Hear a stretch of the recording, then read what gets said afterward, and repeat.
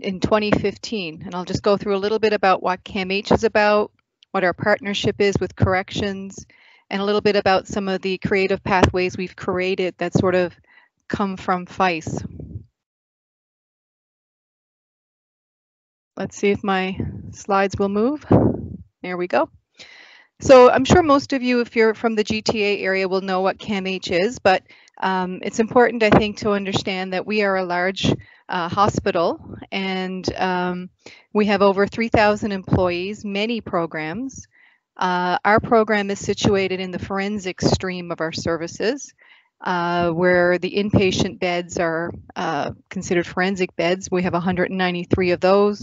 We have 350 forensic outpatient clients that, you know, were falling under the ORB and are now uh, housed in the community. Plus we have uh, general psychiatry, schizophrenia program, addiction services, youth programs, all that to say that FEIS is just one little program in a conglomerate of many programs at CAMH. So while I am representing CAMH, just uh, to be mindful, we are just one branch of that. So uh, it's, uh, it's, it's it's just one one piece of a bigger a bigger company.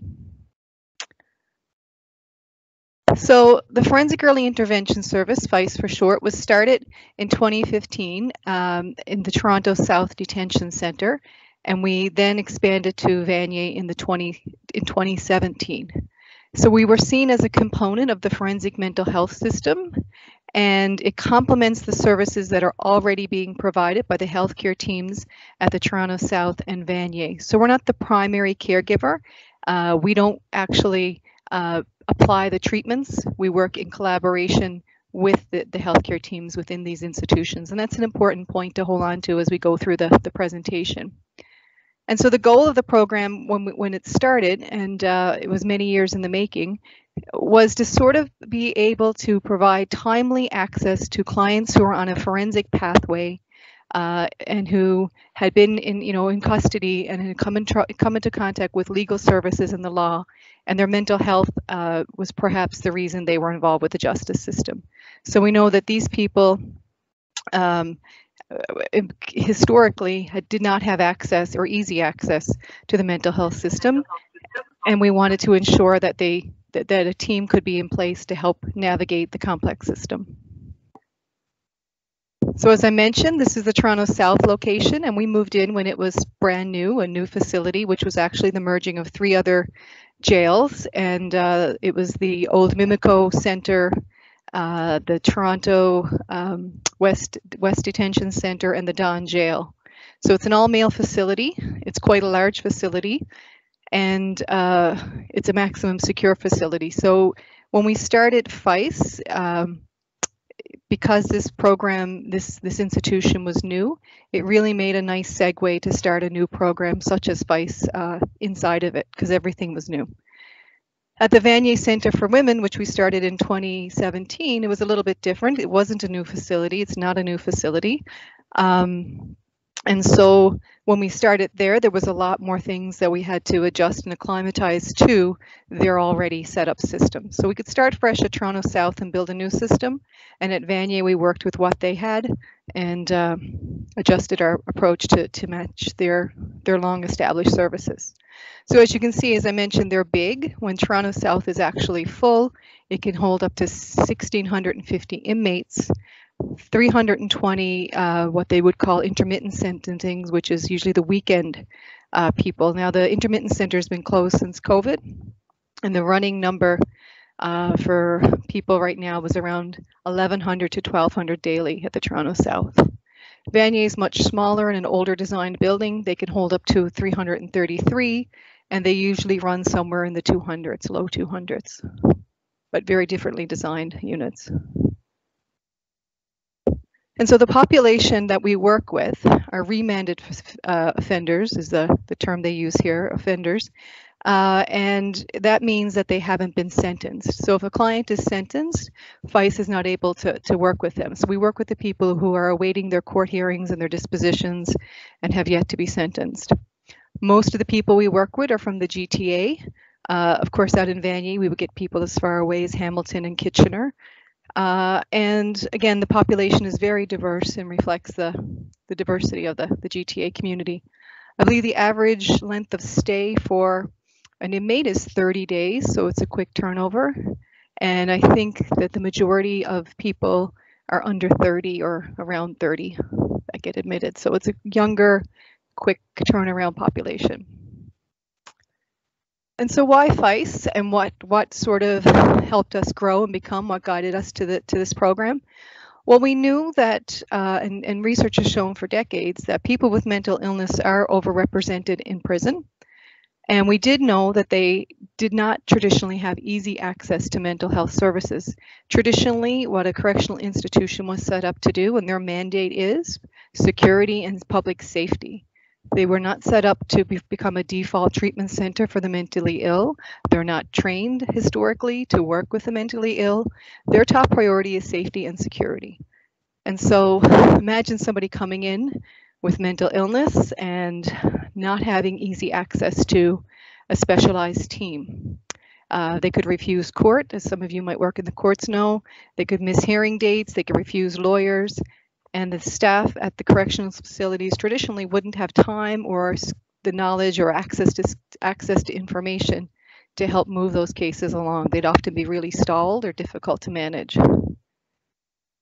And so the program when we first started was is funded by um, the Center for Addiction and Mental Health and a partnership between that and the Office of the Solicitor General.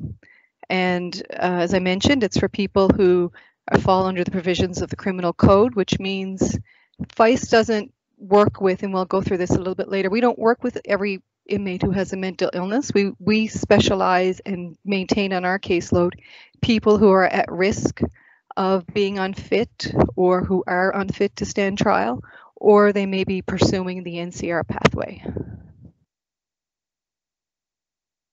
And so just going through the numbers a little bit and talking about the need in prison. So this, this little uh, triangle kind of breaks it down a little bit. So most people who come into correctional setting, if we had 100 people come in, almost all of them would would would benefit for some help with addiction or substance use education supports.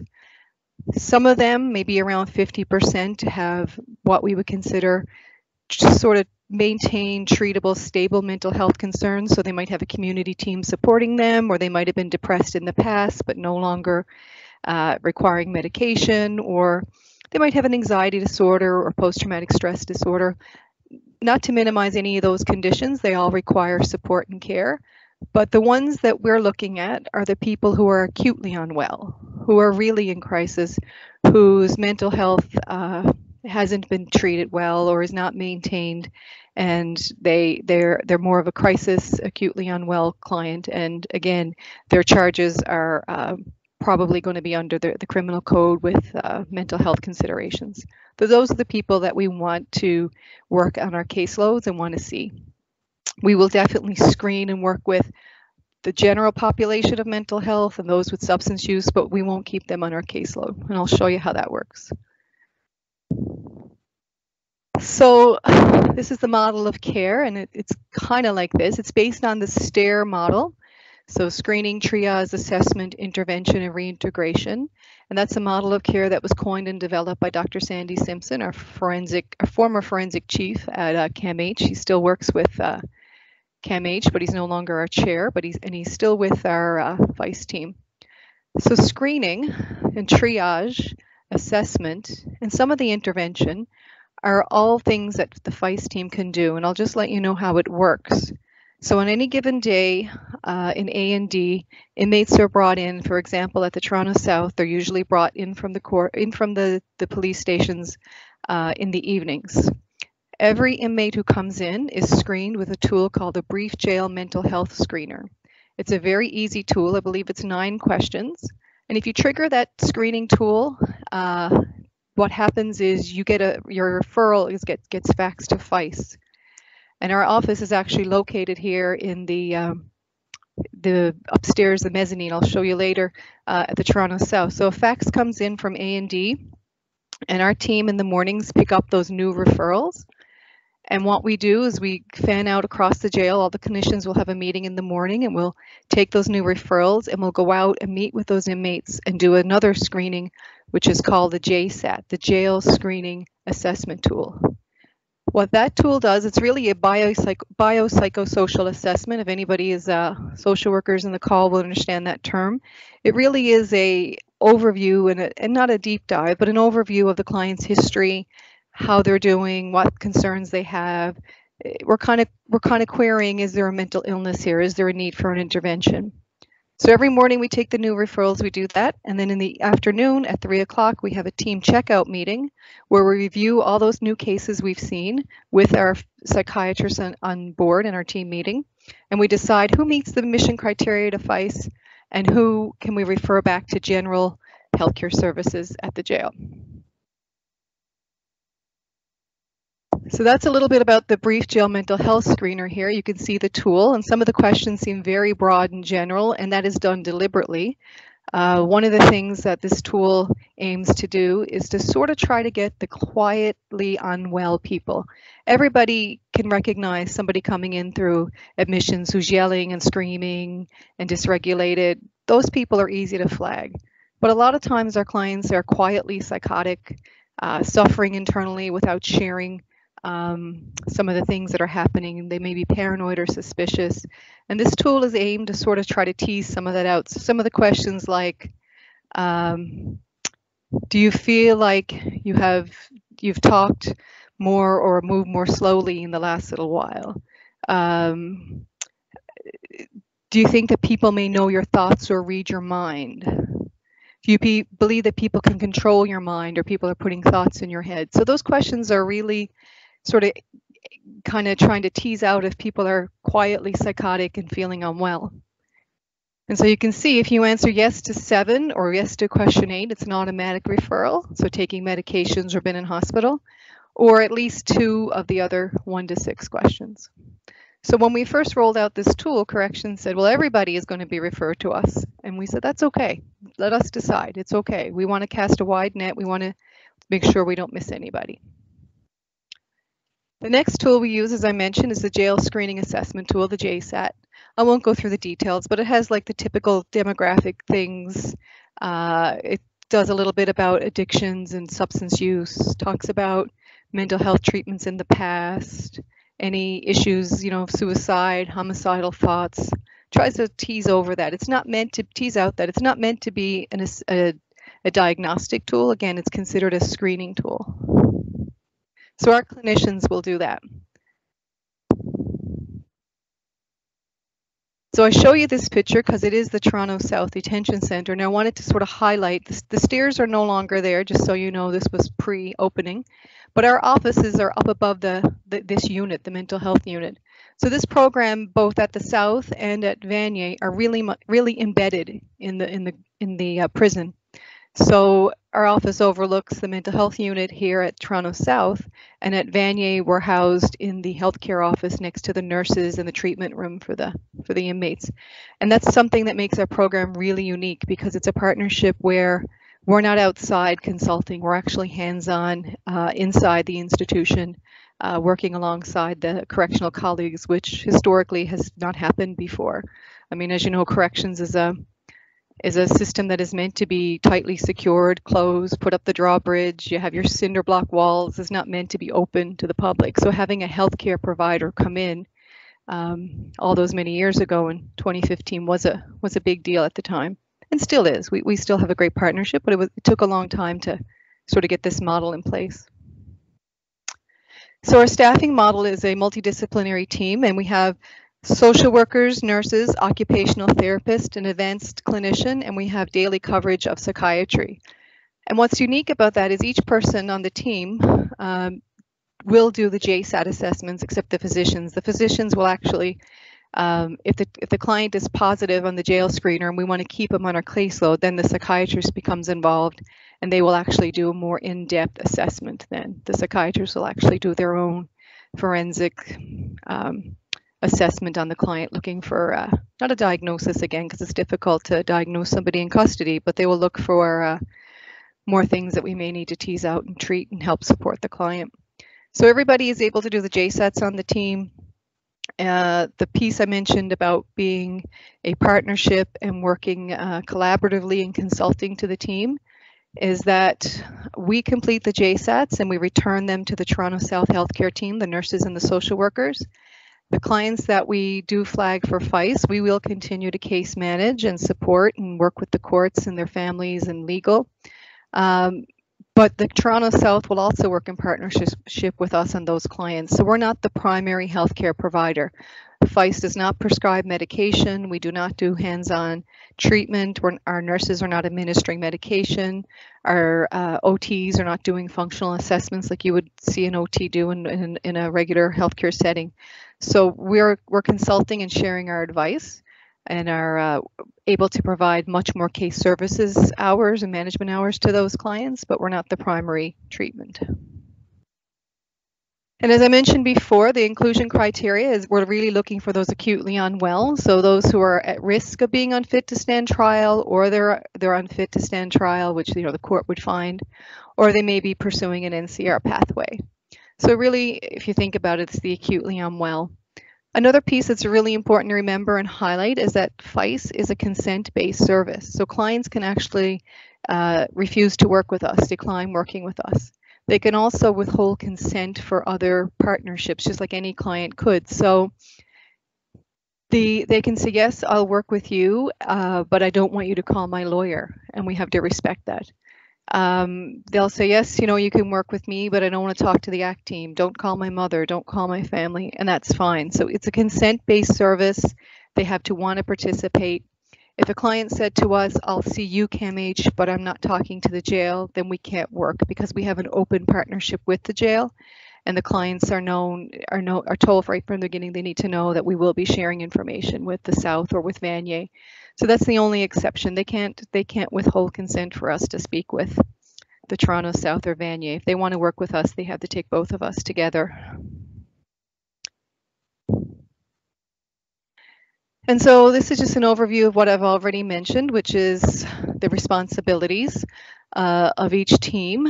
And again, it's it really is a partnership. Uh, our team would work closely with psychology here, the social work team, uh, the nursing team. So they, at the Toronto South and at, and at Vanier, they have general duty nurses as well as mental health nurses. We would work with uh, the chaplain, um, and of course the program officers. And uh, again, we build a, an ongoing relationship in terms of uh, working on treatment plan and discharge planning. Uh, we aim to have our JSAT, our screening tool, uh, turned around and sent back to them within 24 hours. And what makes that really unique is that because we're a healthcare system and because we have an electronic health record, many of the clients that we register already end up having services at CAMH. So once we get consent to work with those clients, we already often have a very rich collaborative history to share uh, about the client in terms of what medications they may be taking, when were they last in hospital, uh, who they last seen in the community, you know, do they have substance use history, so all of that stuff is often really ready, readily available to us. When we first started, we did a just a very general sort of uh, scan of our health records, and it was estimated that between 65 and 70% of the clients who came to Toronto South already had a CAMH health record. So that's a lot of people, right? Six, 65 out of 100 already had a CAMH health record. That's really valuable information that the Toronto South with paper records, no access to, you know, healthcare charts. That's really valuable information to be able to share with them to provide, you know, quick treatment and access to services. It's a little less, of course, at Vanier because Vanier is farther outside of our catchment area, but we do see some people, um, a percentage of those who have accessed CAMH in the past, especially our, our addiction services. And I imagine um, most people at the um, hospitals in Oakville and uh, Milton would also have history on those people. And so that's a little bit about the role of what we do here at both the South and at Vanier in terms of our day-to-day -day work, providing triage, screening, assessment, and then the intervention being our case management uh, work with the court, with the lawyers, with the family, collateral housing, all of those things that community caseworkers would do, we try to do from the, uh, the office here. What has grown from our role is that we have two staff here at uh, Vanier who also attend Old City Hall Court. So CAMH has a contract with Old City Hall Court to provide uh, kind of like administrative services in helping coordinate the forensic beds. So the Form 48 beds, the treatment order beds. Um, and so two people on the FEIS staff are are uh, working uh, on that in that role as well as the court liaison workers. And so that gives us tremendous ability to coordinate and a fulsome understanding of how people enter into the forensic system or go into custody from a Form 48. The limits, of course, is that as the as a court liaison worker, they're wearing a different hat than they are as a FEIS worker. So under the court liaison role, they're providing more of an administrative duties and are not able to comment clinically on the uh, things that they know from FEIS. So they're not allowed to really share that information. That information is considered privileged. It's considered uh, healthcare information protected under PHIPA. So while my staff might know information about the person who's being considered for a treatment order, the lawyers and the legal team, they all have to access that through the regular pathways through health records uh, and that sort of search. But what it does is it helps us um, coordinate transfer dates better. So when someone becomes unfit, uh, goes through a fitness assessment or goes on a treatment order, our team knows about the dates from Old City Hall Court and can help the jail coordinate the, the dates that they're needing to be sent out. We can help coordinate CAMH when the next bed is available. Once we're confirmed that they're going into uh, the CAMH bed, the workers uh, at the ATU or the SO2 units, which house those those clients, can see the FEIS history on the chart. They do then have a rich, fulsome understanding of the previous treatment or presentation of the client. The limits, of course, is that we're only stationed at Old City Hall Court, so we don't actually have uh, our, our team lia- our court liaisons don't have a direct connection to the Finch courts. So it is a it, it is limited and and um, in who we can coordinate with. But the 102 court has worked out very well. Another offshoot of our FEIS program, something that has grown uh, from it, is that we were able to secure funding for what we now call the acute care stabilization bed. I think it's been operational now since 2018. And of course, with COVID, things had a little bit of a hiccup. But um, in terms of our pathway, what it is, is there's there's funding, I think, for a total of five beds. We currently have one operational. Um, and this bed is meant to provide a direct transfer from Toronto South, so the, the male clients that we work with, to uh, what we would call secure treatment, a secure treatment facility under a Form 1. So as you can imagine, the clients that um, become acutely unwell here, um, because of their legal situation, they when they're brought to emerge, they show up with shackles, orange jumpsuits, two escorts, you know, officers from the jail, and it's quite a production when they enter, you know, the closest hospital being St. Joe's, or, you know, if they end up uh, going over to uh, smaller hospitals or St. Mike's, they have they have um, they have to go through the general emerge, which can be quite jarring for the general general public to see, but also quite labor intensive in terms of safety and security and the dignity of the, the client who's being taken to to uh, hospital. So this pathway is one where if the client is deemed unwell and actually can be placed on a form one, we discuss the clients here at the Toronto South each week and we make a wait list and we try to coordinate uh, that they go directly to our SO2 unit, our secure unit. They are triaged here before they leave, and then they're triaged and screened again as they enter the SO2 unit. But once they're housed there, the officers can leave and the client can receive treatment in a safe and secure setting. We aim for that treatment to be less than uh, approximately three weeks or a little less. It's a precious resource. It's meant to be a stabilization bed, not a full recovery bed. So what it's meant to do is try to stabilize that client, restart their medications, uh, give them an opportunity to kind of get well, and then we will have to return them back to the Toronto South, but hopefully functioning much better. So that bed has been a very precious resource. And as you can imagine, with 1,200 inmates here on any given day, there's always more than one client who needs to be sent out and treated under, under the Mental Health Act, the Form 1. Uh, so those five beds, when they do become fully operational, I have no, um, I, am sure they'll have no problem being filled. Vanier has a similar pathway, but their their agreement is with Ontario Shores. So the FEIS team at Vanier is not uh, currently involved in that transfer, but just to know that those beds have also been rolled out for the women at Vanier. So this is just a little bit of the data. I mean, we've been opened, this is a snapshot before COVID. So from 2018 to 2020, uh, we had 731 days of operation, 38 clients admitted. The bed utilization was 92%. The average length of stay was just under three weeks, 17 days. Um, and they, the admission score, which is a tool we use called the CGI, uh, CGIC, that rates like the severity of the of the illness. We kind of rank our clients in terms of acutely unwell, severely unwell. So it's, it's a quick tool. It's just a, a Likert scale. And uh, on admission, their scores were as high as six, and at discharge, they were uh, average decreased probably down to a four or three. So you can see that um, they they return much more uh, settled, feeling better, and usually starting medication. Oftentimes a long-acting injection, or uh, they may have had a complete med readjustment and restarted various things. The other opportunity that has come from the FEIS service, uh, and again, it's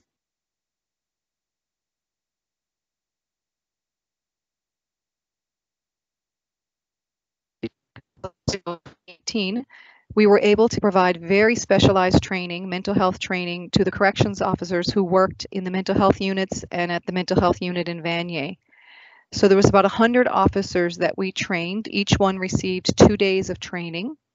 Uh, and it was a training that was provided by myself, an OT from our program, and our psychiatrist. So it was a very healthcare heavy training where we delivered uh, information about what is a mental illness, how do you manage risk, what signs do you look for for suicide, what kind of things would you look for for depression, what kind of things do you look for for substance use, with the intention, of course, of, of, of, reminding these officers we're not expecting them to be healthcare professionals, but we do want them to be able to recognize when a client is being um, difficult or unruly, the motivation can be different than just being, uh, you know, anti, uh, you know, sort of antisocial. The the motivation sometimes is, is out of fear, is out of health reasons.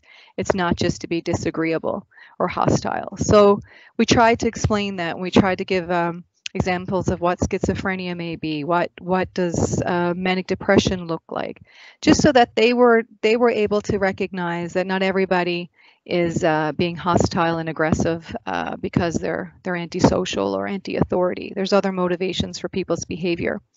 And the, the, the feedback that we received from the officers was really, really supportive. They, they wanted us to do it again next year. It was a one-time thing that we were able to offer because we had a grant. Um, and so what then corrections did when they saw how much of a, a need there was and the demand for it is they did contract with CAMH Education Services and our psychiatrist along with a few other people developed an online training and videos that now all the correctional officers receive in their orientation to becoming a, a corrections officer at the college. So it led to um, sort of some permanent education that has now sort of become standardized. The other thing I should mention is those tools that we use, the Brief Jail Mental Health Screener and the JSAT. While uh, Toronto South and Vanier are the only two organizations at the moment that have a FEIS team, all remand facilities across Ontario are mandated, and they have been since 2017, to use the brief jail screening tool and the JSAT. So while at our team, the FEIS, at our services, the FEIS team does that, at the other institutions, the social workers take on the task of doing the JSAT. And uh, the brief jail mental health screener still happens by the organizational nurses at A&D, but then they refer directly to the institution's uh, social workers to complete the JSATs. So we've made lasting changes in those two areas as well. Here are some of the numbers that we've had for the last little while, and it's also interesting to reflect that uh, during COVID, believe it or not, our numbers, even though the number of admissions may have decreased over time and there was an effort from corrections to not, you know, house as many people in prison, our ability to see people uh, actually improved. And that's uh, that's solely based on the fact that court became much different. So people were no longer leaving the institution. Video court was being implemented. And so when we saw a person on Monday, uh, when a person was admitted on a Monday, we could go down and see them on Tuesday. They wouldn't be out at court. They'd be in the institution. And if they had court, it would be on site. So it really gave us even more access to people. Um, on a typical day, for example, uh, FEIS is not in, in the institutions on the weekends as of yet, but on a Monday morning, uh, we could come in and have 30 referrals waiting for us at the Toronto South. So people were admitted on Friday night, Saturday, and Sunday. Maybe about 30 of those would be waiting for us, or 35. Uh, by the time we went to see them, we might only see 20 of them because uh, Monday afternoon, people will be out at court. And like I said, now it's much different. Maybe out of 30, only 25 have been released, or 28 even.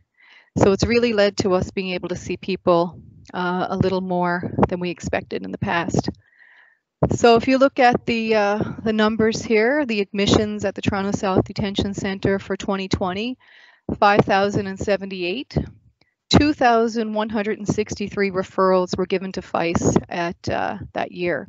And we will screen and triage as many people as we can. So as you see that we received 20, uh, 2,163 brief jail screeners, and from that we were able to see 1,775 inmates, so 82%, whereas the year before it was only 61% we could see. And then if you look at the number of clients that we kept on our case caseloads, you're thinking about that 2%, the top of the triangle, we were able to keep uh, 489. So it doesn't change, it didn't change much about who was acutely unwell, but it did change how many people we could uh, we could actually capture to do a JSAT. At Vanier, things are a, a little lower, of course. There's less people, less beds. So in 2020, we saw 1,962. We had 1,131 referrals. So the number of women referred to us at Vanier is very high. Uh, you know, out of 10, we probably get seven people that have triggered the screener. Uh, the term that the researchers use is kind of like a false positive, and what we mean by that is, you know, the, the tool is very sensitive for women because women are historically are more often uh, open to asking for help, more likely to receive help, more likely to share their feelings. So we do get a large number of people that uh, that trigger the screener at Vanier. And then we were able to complete 955 JSATs, so 1,100 brief, mail, uh, brief jail mental health screeners and then 955 JSATs. And from there, we, we managed about 200 clients through the system and the forensic system. So still pretty high numbers. The work, the work is um, ever changing, very quick pace. The the uh, process that we use is very much formalized that we have our check-in in the mornings and our check-out in the afternoon. That happens every day, rain or shine. So that kind of piece of it is very predictable. Um, the challenge, of course, for the clinicians is managing the caseload that they have that's current and they need to follow up with, along with taking new referrals every day. So it is a big juggling act in terms of being able to see new people and manage the ongoing clients. So again, as some of the some of the future things, considerations, things that we, we try to look at is, you know, the length of stay is very short, and I don't know if there's any better way we can capture people uh, to do longer term planning. Right now, we have no way of working in the community. We're solely based um, on pre-sentenced clients who are here and housed. So there's no, we, we, we share uh, and refer to the community partners such as CMHA, COTA, uh, you know, St. Mike's outreach teams, we, our own our own outreach teams. But the FEIS worker is not able to follow up and go to court or help uh, help bridge services to get them to an appointment or any of that stuff. So the length of stay and the amount of time we can have an impact on the client is short. Some of the clients have multiple admissions, so they get released on a Friday, we see them next Wednesday. Those are very sad. Uh, you know, the, the term is kind of like frequent flyers, and these are people who are often chronically unwell, disorganized, but yet for some reason don't really trigger the Form 1 Mental Health Act. They're not a danger to themselves and others, but they're living in shelters, they're staying on the street, they don't follow up for medication, they more than likely are homeless or underhoused. Um, and their ability to sort of navigate the systems or be involved with uh, care is, is very limited. Uh, we also see a lot of substance use uh, that would sort of lead to that as well. Another one of the challenges we have, of course, is that we're a consent-based service. And so while that's really important for clients' uh, rights, it does sometimes lead us in difficult situations where people are so acutely unwell that they say no, they don't want us. We do try two or three times. We kind of have a little rule about that. We'll we'll try another pass by to, to see if another staff or the physician can help engage them. But if they refuse us, they refuse us. And so sometimes we do watch people languish and not get quick access. We do have a system that's built in with the Toronto South and at um, Vanier. And what it is is that when those things happen, we flag it for the healthcare teams at the institution. And while FEIS cannot really comment at court, the uh, corrections institution can send what they call a critical information exchange to the crowns and to the to the to the mental health courts saying hello we're worried about this person they seem to be experiencing symptoms of mental illness which is interfering with their ability to come to court so that information comes from the court, goes to the court from the corrections side. So FEIS can't intervene in that level, but the, the other side can. And so we work together to to try to flag that at, at all times. But it does limit our reach. It does make it a little difficult sometimes to have to pass messages on to the uh, corrections side, who then has to pass it on to the to the courts.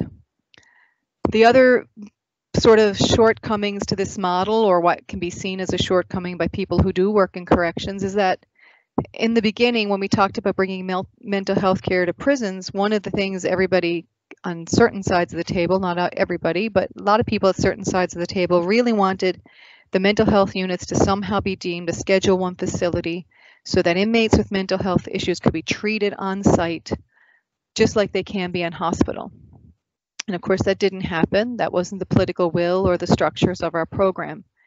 So treatment cannot, cannot occur in a correctional setting. They do need to go through the court processes. They do need to fall through, follow through the Mental Health Act and be sent to a hospital to be screened and seen. And as you know, there are bed shortages all across the hospital uh, in, in the GTA and, and surrounding areas. So there's a lot of bed shortages. Our clients are highly stigmatized, highly visible, and it's very intense to move them because we're having, you know, officers escort them. We're seeing them in the merge in the general population. And so there's a lot of disruption to, to community hospitals who are receiving these clients. So that's that's a that's a piece that still happens, right? Even though we have those that one bed, and even though we have a FEIS team, the demand for hospitalization and the need for hospitalization for some of these clients is, is you know, it's going to be still going to be high. If, like I said, 1,200 inmates, you're looking at maybe 10 people a week that could have a bed for a short period of time that they don't have access to. And then, of course, the other challenges that kind of comes to this program is the idea of the Mental Health Act and how it applies to these clients. So who are considered formable under a Form 1. So on a street corner, if you have somebody ranting, raving, screaming, disorganized, shouting insanities, upset, disheveled, poorly dressed in the middle of winter, uh, the police can take that person to a hospital and say, hey, this person's at risk. He's at risk of hurting himself or he's at risk of hurting others. If you're standing in a cell, you know, eight by eight, yelling, screaming, naked, smashing around your food tray, are you really at risk of hurting others? Are you really going to be able to hurt yourself? Um, the need changes, right? It's a little different, and it's seen differently under under the Health Act. It's seen differently when you arrive and emerge. They assume that you can contain that client. You can. They assume that you're able to treat that client. So the bar to send somebody out on a form one suddenly gets higher, and that's where you see people eating their own feces, drinking urine, naked, maybe not eating, not eating at all. So maybe other blood sugars are going off. You have health issues that are starting to be impacted. That's the kind of person who then gets sent out on a Form 1. Those people that I mentioned earlier, the acutely psychotic, those quiet people who sometimes just self-mutter and don't talk and shut down but are eating and drinking, it's really difficult to just send them out on a Form 1 if they're able to sort of practice the, the basics of daily living it te technically doesn't look like they're hurting anyone, but they're suffering in silence. So those clients suffer more here because if they're out on a street corner wandering, they'd be able to be on a form. But when they're here, it's different. They're contained. So there's a lot of limitations and a lot of things that are bigger than us and bigger than our service that affects our program. But these are some of the ways that they play out uh, with us.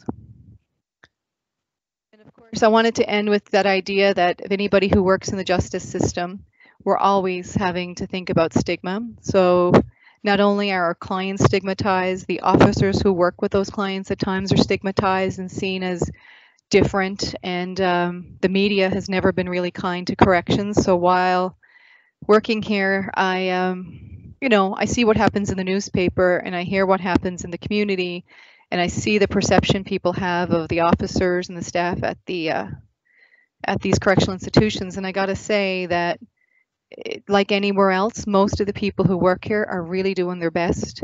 They really do have good intentions. They're doing good work. Of course, the ones who aren't are going to make the news, but not all officers are like what you see in the newspapers. Uh, not all clients are Hannibal Lecter, like we see portrayed in the in the media. And so the, the work that we do, we're facing not only the mental health stigma, but the justice uh, stigma.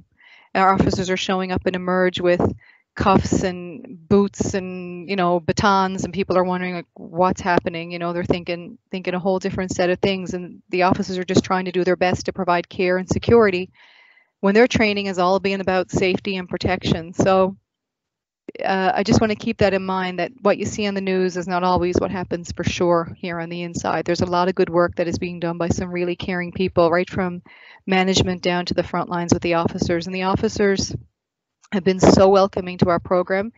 To be honest with you, when we first started in, in 2015, it was the officers who said, thank God CAMH is here. You guys know what you're doing. We sit here 24 hours a day with these guys. We're at a loss how to help. So they were so happy to have extra supports called in that could back up their teams and provide more time and more attention and more specialized training to the to the clients that they see.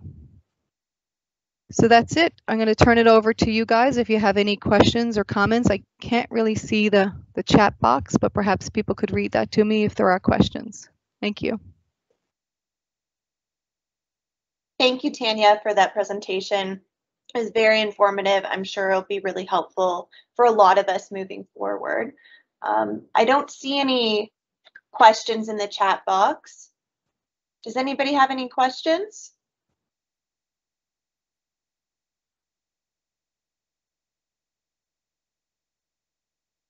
Doesn't seem so.